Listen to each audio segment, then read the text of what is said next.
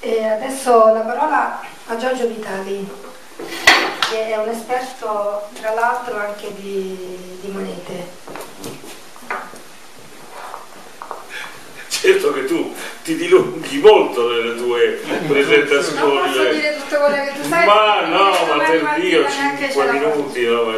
Allora, eh, dobbiamo eh, partire eh, su alcune considerazioni e eh, oltretutto una presa dato fotografica della realtà italiana di oggi. Per poi eh, discutere eh, non certo di monete complementari ma di qualcos'altro, di una impostazione politica impostata a fondo sul diritto romano, al quale noi dobbiamo assolutamente ritornare, se vogliamo ritornare alla libertà vera, autentica, vista proprio nell'ottica della romanità, che è una libertà sancita dal diritto. Qual è stata la caratteristica fondamentale della grande cultura latina? È stata quella di aver creato un diritto capace di coincidere col concetto di civiltà e col concetto di libertà. Nella vita sociale l'uomo è libero nel momento in cui può adire ad un diritto che ne garantisce la sostanziale intrinseca libertà. Se non partiamo da questi concetti, qualsiasi soluzione pensata, zigogolata, immaginata, prospettata di liberazione o pseudo liberazione dal potere usurario è pura illusione. Allora, siccome il discorso è questo, eh, faremo alcune piccole deviazioni perché ci interessa anche richiamare l'attenzione sulla realtà nella quale noi oggi siamo immersi. Allora partiamo dalla realtà sociale di oggi. Oggi eh, la televisione italiana è stata per intero totalizzata dal Festival di Sanremo. Probabilmente pochi se ne sono accorti, ma eh, tutte le eh, i programmi capaci di raccogliere adesioni e soprattutto audience sono stati bloccati. C'è un accordo eh, per fare quello? Eh? È un accordo fra, È un accordo fra tutte le televisioni per il potenziamento della forma magica per eccellenza di controllo sociale. La canzone. Facciamoci una canzone. Allora, io vi posso anche eh, eh, predire qualcosa, perché la previsione eh, da questo punto di vista eh, non è eh, sbagliata, può avvenire. Cioè l'apparizione di Matteo Renzi alla finale, alla finale di... Perché come? Non è, non è un caso. Appunto, eh, da una È un scala menestrello, come è un menestrello, quindi è l'occasione. esattamente Che c'è È un menestrello, Allora.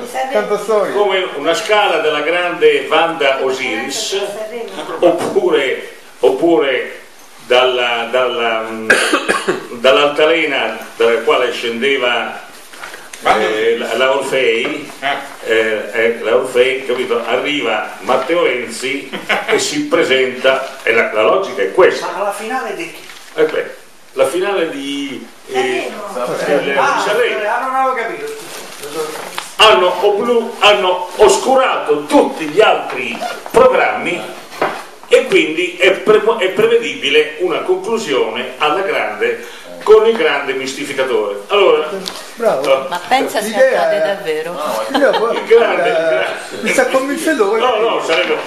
Allora, allora, hanno eh, oggi I hanno, comunicatori di Renzi l'hanno pensato sicuramente. oggi hanno potenziato eh, questa cosa eh, esultando per il boom di audience che ha avuto a questo oh, guardate ragazzi è importante eh, ha avuto Sanremo e te credo hanno oscurato tutto il resto e la gente non può che andarci a sentire quelle canzoni che più cretine non ci possono essere e quelle facce da puttane che stanno lì a recitare queste canzoni. Allora, l'altro giorno l'altro giorno facce da puttane, sono facce da puttane truccate, truccate da sono puttane. no, eh, non lo sono. Sono puttane truccate da La faccia puttane. mi interessa molto. Vabbè, dai. Allora, mi, mi citassero, no? Io, eh, capito?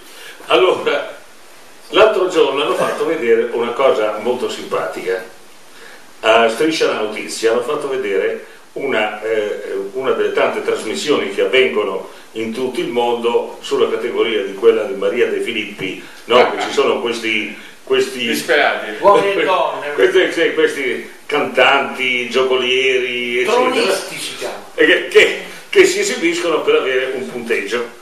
E la cosa più bella è quella che è apparsa a, a Parigi, dove c'era un, un guito, un ballerino, che è venuto sul palcoscenico, si è denudato, si è infilato al culo un razzo, gli ha dato fuoco. E andava, sì, e andava eh, ballonsellando di qua e là col, col, col, col razzo nel culo. Davvero? Sì, sì, l'hanno ripetuto più di una volta. Sì, sì. No, veramente. Insomma, no? Io l'ho visto. Ma qui non c'era niente da fare. Allora, Me lo allora, cerco su ma questa è la realtà. Io mi auguro che Matteo Renzi copi quello, perché quello ha avuto un grande successo, lì che applaudivano. Capito? Questo con razzo al culo. Allora, io mi auguro che è Matteo Renzi questa- copi questa performance, che è eccezionale. Ah, invece di avere, come dice Maurizio, il 30% dei voti, avrebbe il 90% dei voti, simbolo dell'Italia di oggi. Il razzo al culo. Meglio di così. E allora, detto questa premessa, per rompere un po' Il ghiaccio. il ghiaccio, diciamo alcune cose importanti in relazione a che cosa noi dobbiamo puntare e come, eh, ad esempio, quando noi parliamo di moneta complementare, eh, di cambiare sociale, eccetera, noi stiamo puntando a qualcosa di alternativo al dominio dell'usura che si estende fortunatamente non in tutto il mondo. Va bene? Perché ci sono delle nazioni che hanno incominciato a capire No, che, eh, devono, no, che devono reagire. Allora, prima cosa da far vedere, per far vedere qual è il potere intrinseco che ha oggi il potere finanziario sul mondo, facciamo vedere questo libro. Ai guru dell'economia che ci, rendono, che ci prendono per imbecilli. Allora, questo è un libro che è stato pubblicato nel 1999 Molto bello. dedicato, lettera aperta, ai guru dell'economia che ci prendono per imbecilli, scritto da un noto economista che si chiamava Bernard Marie. Perché Bernard Marie è stato C'era. una vittima È stato c'era. di tutta la messa in scena del Gesù Charlie. Eh, Esattamente. infatti, è stata la vero, allora, il Il vero vero obiettivo. obiettivo di quella messa in scena. Ve lo faccio rivedere, è stato pubblicato in Italia nel 2000. Chiaro? Questo per dire cosa significa oggi nel mondo avere a che fare con certa gente. Però siccome quella gente lì eh, pensa che nessuno l'abbia capito, almeno noi qui c'è qualcuno, perché io appena uscito me lo sono comprato. No, esattamente una quindicina d'anni fa. Si trova adesso? Penso di sì. Perché se no Edizione Ponte alle Grazie. Ponte alle grazie. Sì, edizione Ponte alle Grazie. Leggiamo un piccolo, una piccola, piccola- sì, un piccolo eh, periodo che è veramente interessante perché lui va a fondo della questione. Dice Maurice Allais non si è mai lasciato infinocchiare. Gli ultimi 45 anni sono stati dominati da una bella serie di teorie dogmatiche sempre sostenute con la stessa sicumera ma in piena contraddizione l'una con l'altra. L'una più irreale dell'altra e tutte abbandonate l'una dopo l'altra sotto la spinta dei fatti. Allo studio della storia, all'analisi No, no. approfondiva degli errori. Qua parla degli economisti, eh. Sì, sì, appunto degli errori passati. Non si è fatto altro che sostituire semplici affermazioni troppo spesso basate su puri sofismi, su modelli matematici non realistici e su analisi superficiali delle circostanze. Questo è Maurice Allais, non è il primo venuto. Cioè, che cosa dice Maurice Allais? Dice che è tutta una mistificazione. Il fatto che il potere usuraio eh, oggi ci impone no, delle scelte, dice che ci impone delle scelte basate sul pensiero di noti comunisti, economisti, Maurice Allais dice guarda che sono tutte fesserie, nessuno di questi ha scritto qualcosa di concreto e di vero. Oh, questa frase è molto importante perché oltretutto, come dicevo, è di Maurice Allais, non soltanto di Bernard Marie. Un'altra frase interessante è questa. I teorici dell'equilibrio, e qui entriamo nel merito di un altro discorso di fondo che implica comunque eh, anche l'emissione di una circolazione monetaria alternativa, parlo comunque sempre di carta moneta, di banconota, i teorici dell'equilibrio non sapevano di essere vinti, pensavano che Keynes potesse essere assorbito dal loro sistema di equilibrio. Erano già vinti nel 1937, ecco i riferimenti, quando Keynes parlava delle forze oscure, dell'incertezza e dell'ignoranza che operano sui mercati. Nel 1979 X ha infine abbandonato la nozione di legge universale in economia ed è morto col sorriso sulle labbra. Quindi noi abbiamo anche dei pensatori che hanno capito qual è il sistema, hanno capito quali sono le modalità, ma soprattutto hanno capito la falsità intrinseca di questi strani economisti che in realtà scrivono a comando. Ma altri avevano già dedicato prima di lui. Pareto, scoraggiato per molte ragioni, bruciando Wallace, dopo averlo venerato e riconoscendo che l'economia era soltanto un vano tentativo di parlare di psicologia.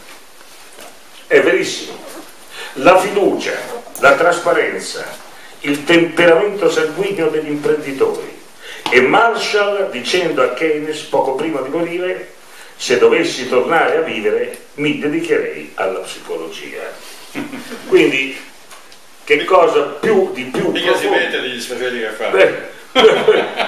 di più profondo dell'analisi del comportamento di questa gente che sono anche degli studiosi seri quando alla fine riconoscono che non esiste una teoria economica valida che qualsiasi appiglio nei confronti della eh, cosiddetta economia e, e- e teoria economica è falso perché quelle che Parte da operano- presupposti falsi. Esattamente, perché che- quelle che operano in realtà nella società sono movimenti indotti o meno indotti da forze di potere, oscure o palesi, che però incidono prevalentemente sulla psicologia delle persone. Il che significa che se noi mettiamo, riusciamo ad agire in profondità nella psicologia delle persone, di questo popolo bue che questa sera vedranno le canzoni idiote, che più idiota non ci sono, cantate in attesa dell'avvento salvifico di Matteo Renzi, a quelle persone lì, se noi riusciamo a rompere questo, questo circolo vizioso che gli gira tra le loro teste, tra una canzonetta e l'altra, no? e riusciamo a far capire che è possibile uscire dalla crisi, no? E beh, noi abbiamo È fatto moltissimo. facile. Ma è proprio perché è facile che loro non lo capiscono.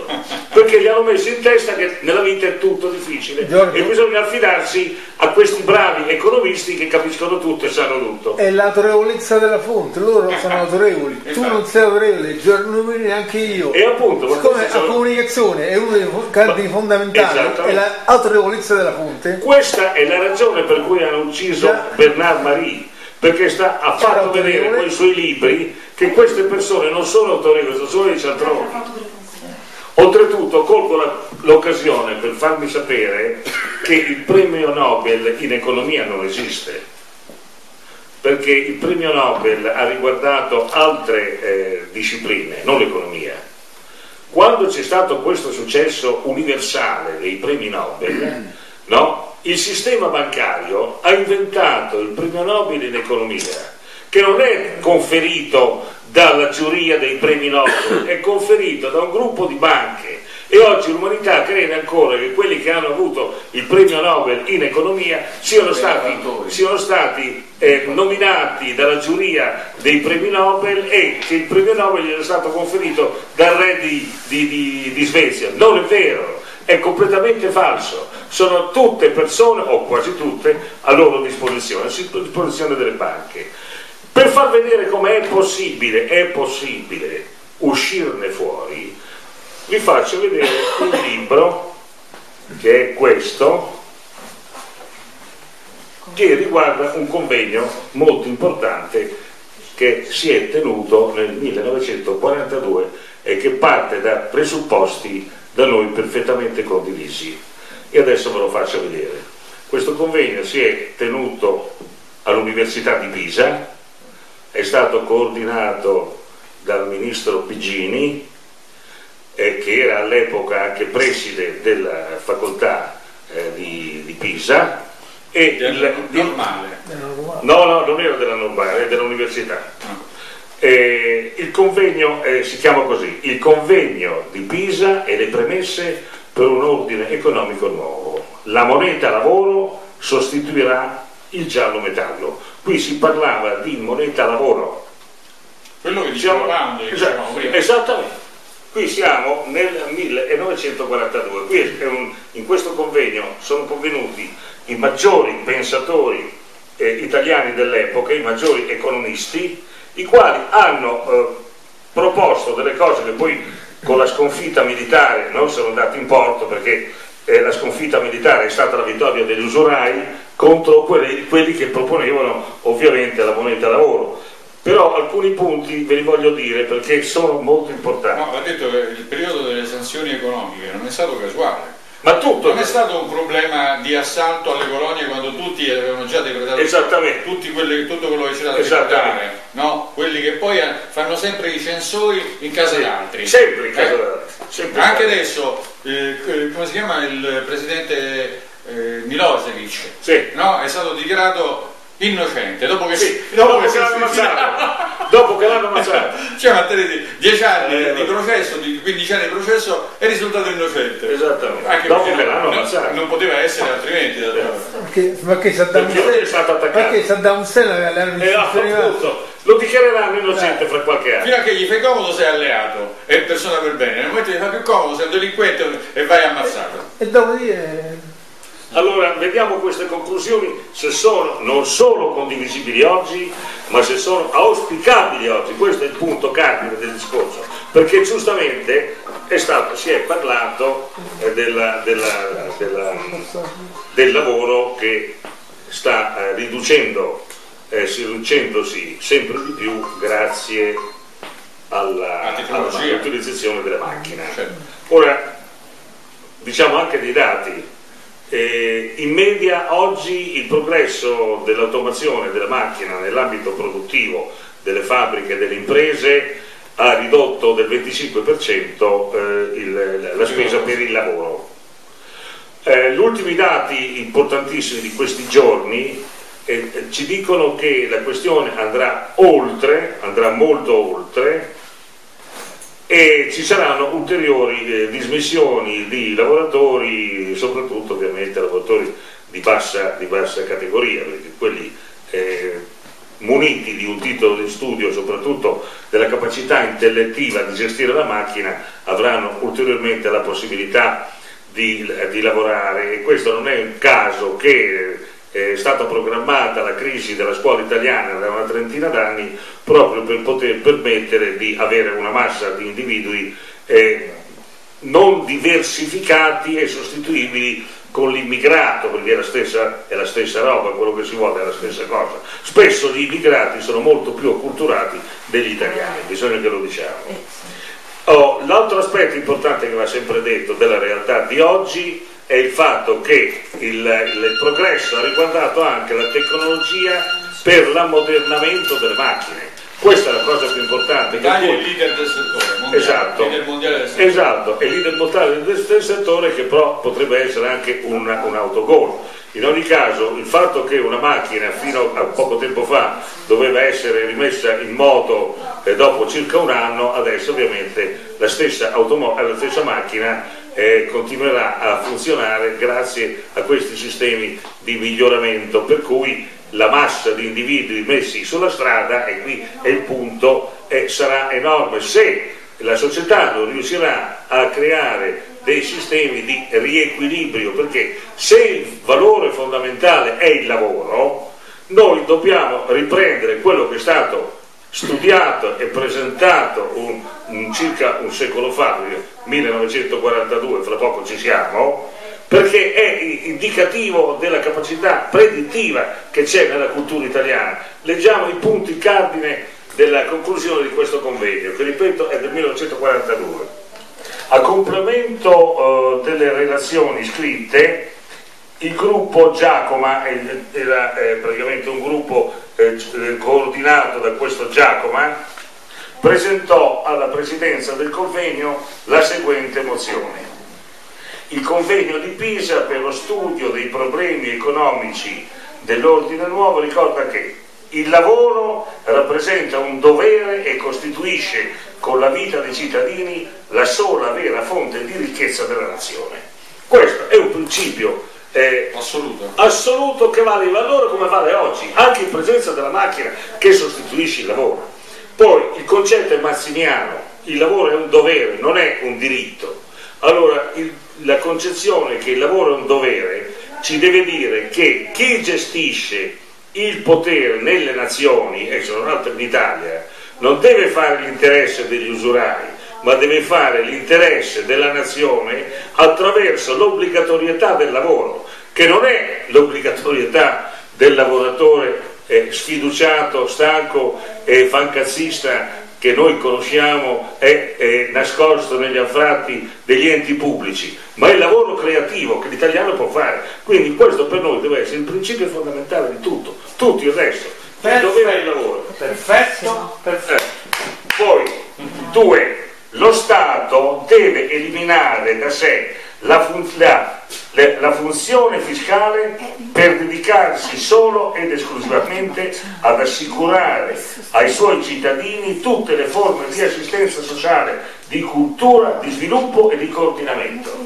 Lo Stato deve eliminare la funzione, la funzione fiscale. Invece oggi ci viene detto che lo Stato fiscale serve proprio per dare il servizio. Esattamente. Allora, la funzione fiscale fine a se stessa Tant'è vero che l'hanno delegata ai privati che sono soci in affari ah, con detto, loro. Va detto che delle diciamo, entrate fiscali che una volta venivano indirizzate nelle varie diciamo, rivoli di, di, cioè, di, di capitoli di spesa eh, in giro per l'Italia, oggi praticamente non c'è più nessun investimento eh, veramente produttivo. Eh, produttivo, nessuno di nessun genere sa inseguire le emergenze, le catastrofi, le, le, le problemi, non c'è un piano quinquennale, non c'è un piano progettuale nel senso di voler mettere in moto una macchina costruttiva e, e, e propositiva.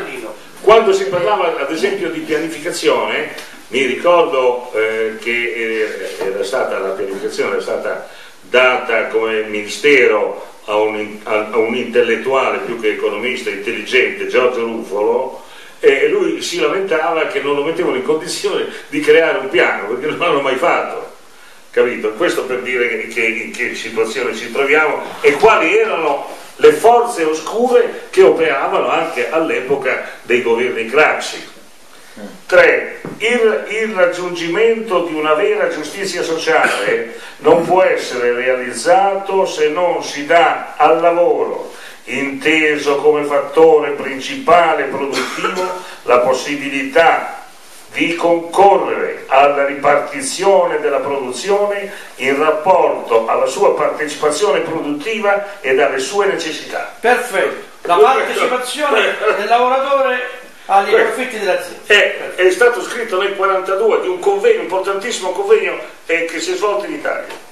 Segnala ai poteri responsabili la necessità che venga definitivamente abbandonato la base aurea per la nuova moneta da emettere, moneta lavoro. Quindi qui sì. È quello che ha realizzato Olivetti Olivetti, Esattamente. italiano, ha realizzato quei tre Esattamente. Li ha bravissimo. realizzati non soltanto Ma infatti l'hanno fatto fallire No, immediatamente. Dice che l'hanno assassinato. in una città, Eh, perché è il re, Esattamente. gestita così. Allora, ehm, coso, eh, quell'attore... No, io voglio dire l'ultima cosa. Zingaretti, ma per finire. Ah.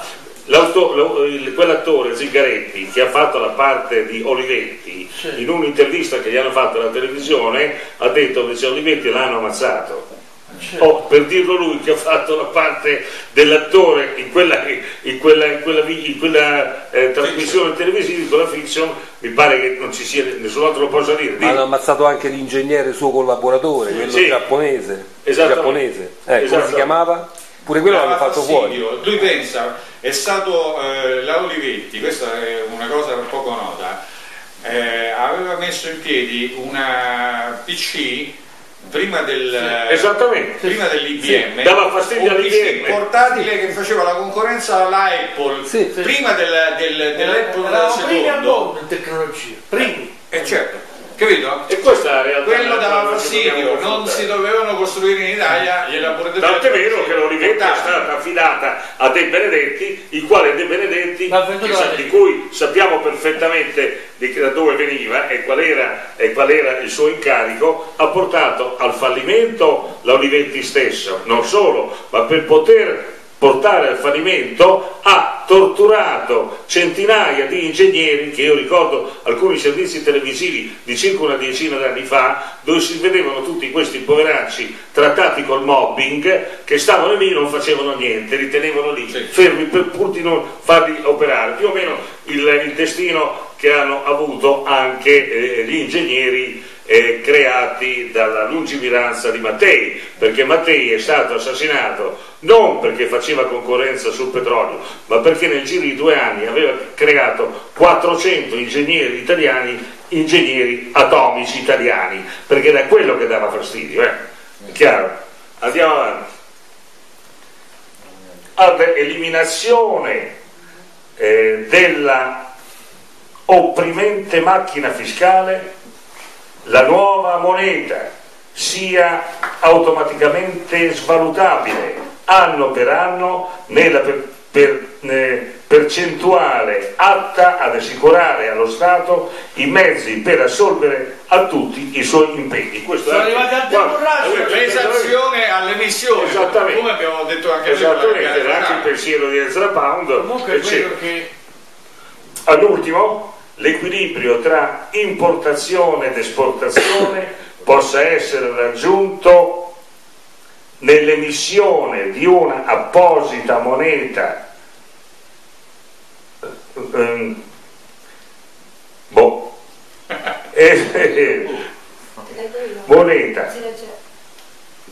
Manovrata, eh, manovrata esclusivamente alla Banca di Stato o con l'invio di apposite squadre di ingegneri presso gli stati creditori per scambiare col lavoro quanto si è avuto in merce e viceversa. Guardate, questo è una cosa come importantissima. risolvere la Grecia, l'opposto di quello che hanno fatto, Esattamente, esattamente. perché li, li affossano con tu mi presti dei soldi, io ti mando i miei cose, ma calcolo da te, vengo da te, calcolo, no? Quanto in realtà mi vale e ti mando l'equivalente in, va- in lavoro.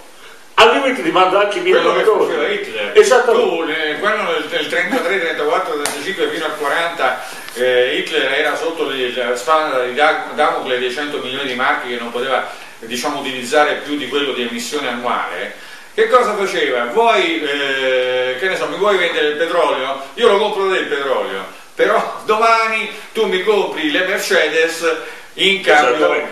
eh, capito? Cioè, Esattamente. è una permuta ovviamente fatturata in base a scambio di fatturazione, però eh, eh, non, non te devo dare in, in valuta pregiata.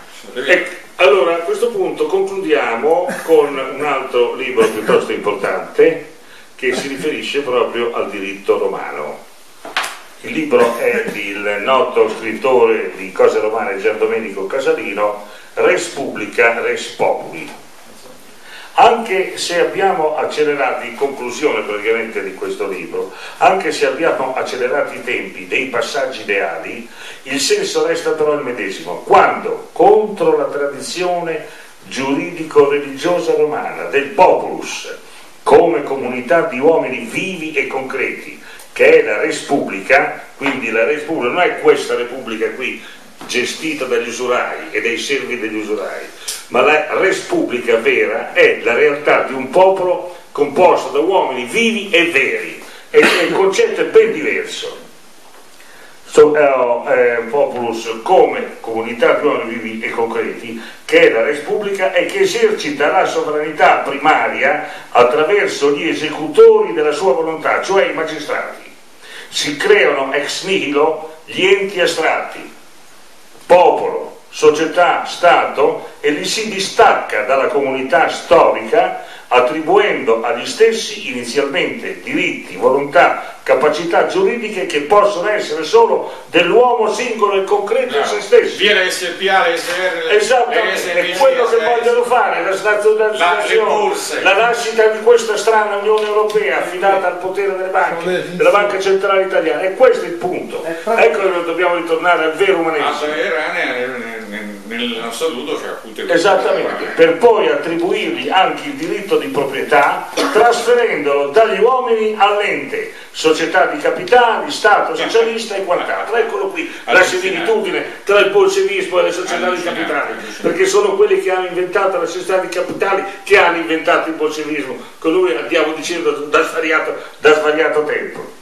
Allora, sul piano di questa logica razionalista e quindi irreale, è facile e inevitabile che la persona viva che non è ancora nata sia mostruosamente definita feto. Ecco dov'è la negazione dell'uomo, laddove invece il diritto latino diceva un'altra cosa. Mentre nel primo Cioè, libro i dei diritti Digesta di Giustiniano, cioè nel titolo De Statu Hominis, Hominum, scusate, e nel titolo De Verborum Significazione, è definita qui in utero est, ed invece chi persona non è sia dichiarata tale.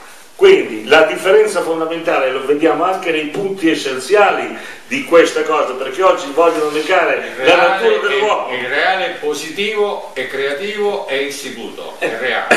Esatto. Invece l'irreale, il soggetto giuridico non ha, non ha fondamento. Esatto. Quindi, Allora, eh, Il soggetto giuridico intanto può essere utilizzato Sì, per le attività commerciali, la conclusione è chiara, ma non deve essere utilizzato per, so- per soffocare l'uomo. soppiantare l'uomo. D'altronde il capo Grassi lo aveva scritto. Lui è quello che ha fatto l'opera maggiore su queste cose. Oh, e poi, scusate, poi chiudo, vi lascio.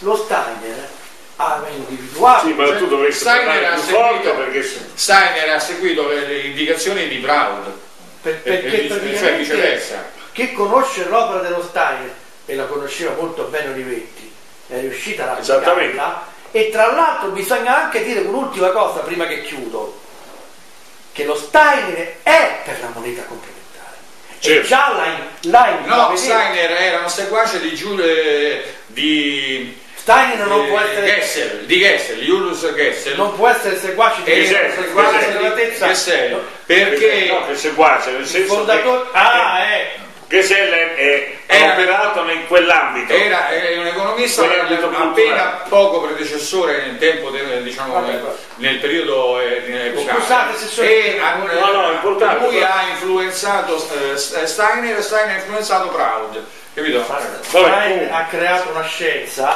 che prescinde dagli aspetti No, Esattamente. parlando solo dell'aspetto diciamo, Eh, economico Però umano. Esiste una, eh, una contemporaneità di questi Sì, personaggi certo. oltretutto. E queste idee si capisce che sono idee che sono contemporanee. adesso sono tutte smarrite Sì. Ma è ovvio, Contraddette. guardate che quella conclusione non è un caso, perché io ho voluto concludere in questo. Una visione dell'uomo concreta, reale, ce l'hai qui. Quando cominciano a dire l'uomo è un feto, vuol dire che tu sei utilizzabile. Infatti vogliono utilizzare pezzi umani per farci quello che vogliono, ma per poter fare questo devi svilire, svilire anche nominativamente, anche nella parola il significato.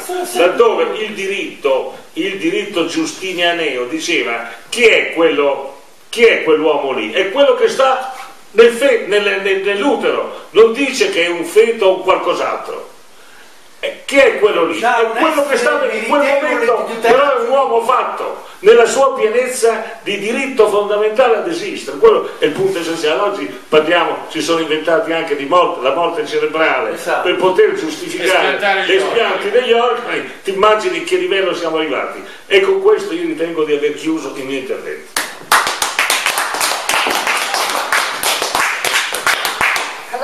Ringrazio tutti voi che siete venuti ad ascoltare Giorgio Vitali, Orazio Gragnani e Maurizio Cerchiara. Grazie a voi tutti. E anche la discussione è stata anche abbastanza lunga la relazione di, di Orazio, però ci ha, C'è ci, cosa ha, ci ha detto tante cose, però ha detto che ha dovuto anche un po' Tagliare. tagliare. emendare. Per cui bisognerebbe fare invece magari più, più puntate.